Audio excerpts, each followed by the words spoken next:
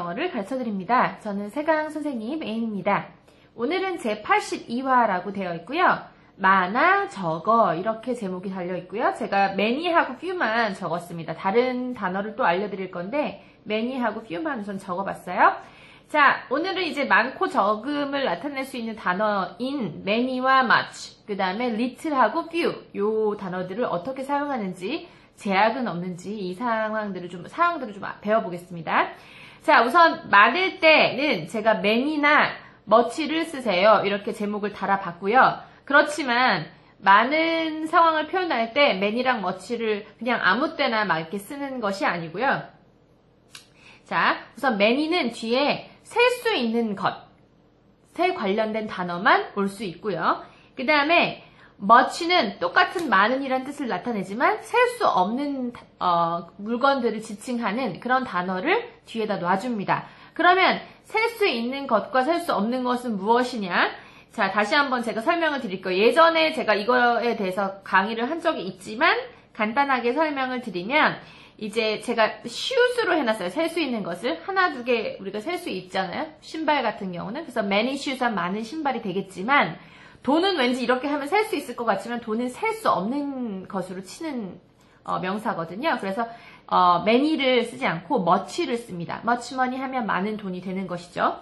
자, 그런데 셀 수 없는 것에 어떤 것이 있는지 다시 한번 리뷰를 하면 뭔가 가치 있잖아요. 사랑, 믿음, 배신, 뭐 용기 이런 것들은 셀 수 없고요. 당연히 눈에 안 보이는 공기, 질소, 이산화탄소 이런 거 못 세고요.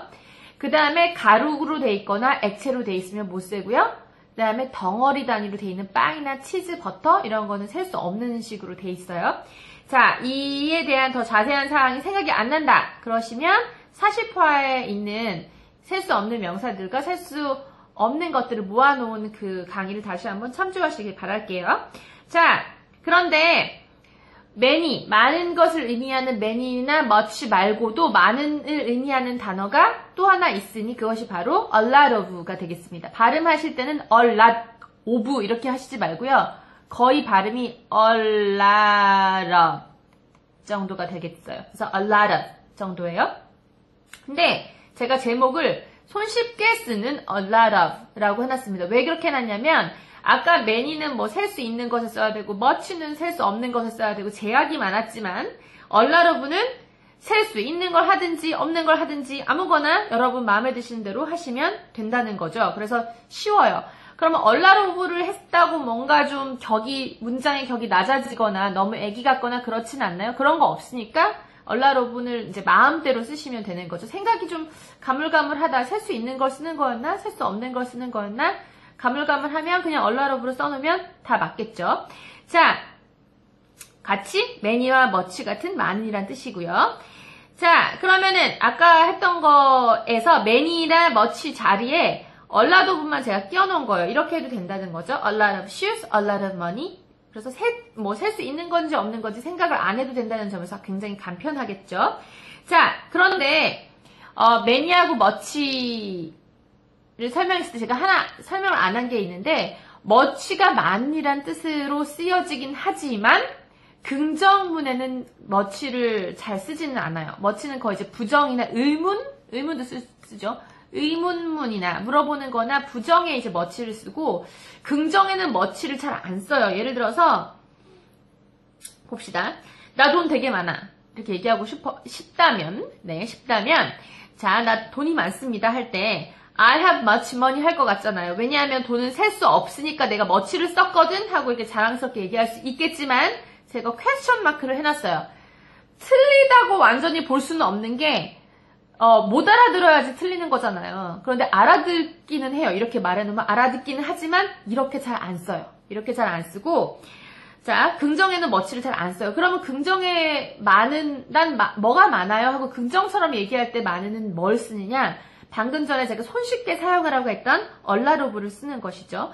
그러면 머치는 보통 어디다 쓰느냐?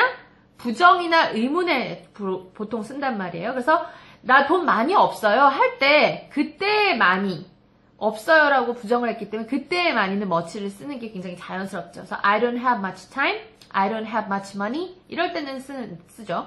그럼 이 자리에 of를 쓰면 안 되냐? 되죠. of는 아주 손쉽게 쓸 수 있으니까요. 그래서 I don't have a lot of time, I don't have a lot of money 이렇게 해도 된다는 거죠.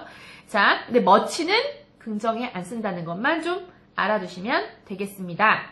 자, 그러면 영작을 간단히 좀 해볼게요. 많은 사람들은 그 소식을 믿을 수가 없었다. 요새 이제 믿을 수 없는 어, 사건들이 굉장히 많이 Blue House 안에서 터지고 있는데, 자, 그래서 제가 영작을 이렇게 선택해봤어요. 많은 사람들은 그 소식을 믿을 수가 없었어. 그래서 많은 사람들 해볼게요. 많은 셀 수 있으니까 many를 썼고요. people 그 다음에 뭐뭐 할 수 없었어. 과거니까 couldn't가 뭐뭐 할 수 없었다죠. 믿다, believe 해놓고 그 소식은 the news예요. 그러면 many people couldn't believe the news가 되는 거죠. 또는 many 대신 a lot of를 써도 되는 것이고요. A lot of people couldn't believe the news 해도 네한 가지고요. 자, 사람들은 그녀에게 많은 신뢰가 없어. 네, 신뢰가 없는 사람이 지금 있는데, 자, 말로는 안 해도 아시겠죠? 자, 신뢰가 많이 떨어지는 한 분이, 한 분을 생각하면서 영작을 한번 해보도록 해요. 자, 사람들은 그녀에게 많은 신뢰가 없습니다. 자, people를 써놓고요. 가지고 있지 않아요. 없어요. 하니까 do not 또는 don't have 하고 신뢰, trust를 쓸 건데 이 앞에 이제 많은을 써야 된단 말이에요. 많은. 그죠? 자, 그러면 many는 우선 아니죠. 왜? 신뢰는 셀 수 없는 거니까. 그러면 much를 쓰는 건데 긍정일 땐 또 much를 안 쓴다고 했는데 여긴 다행히 부정이네요. 그래서 much 써도 되겠어요. 그죠? much trust 그녀 안에 in her. 그래서 people don't have much trust in her. 그래서 그녀한테 많은 그녀 속에 많은 신뢰를 갖고 있지 않다라고 얘기를 했습니다. 자, 그래서 much와 many, a lot of의 쓰임을 한번 봤는데 이번엔 정반대인 few와 little를 보겠습니다. much하고 many의 반대가 few하고 little인데요. 자, 우선은 few하고 little를 써놓으면 적은으로 알고 계시는 분이 있지만 네, 있지만 사실은 적은이 아니에요. 적은은 그나마 긍정적인 의미인데 few하고 little만 딱 써놓으면 거의 없다라는 뜻의 부정적인 어, 의미가 됩니다. 그래서 예를 들어서 few를 하면은 이제 셀 수 없는 걸, 셀 수 있는 걸 써야 되고요. 그다음에 little이 이제 셀 수 없는 것을 쓰는 것이죠.